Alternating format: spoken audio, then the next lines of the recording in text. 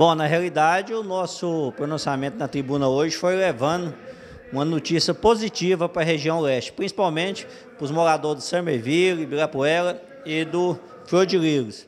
Uma demanda antiga nossa de vereador, é, deu de 2009, a gente tem lutado para construir uma escola municipal aí na região.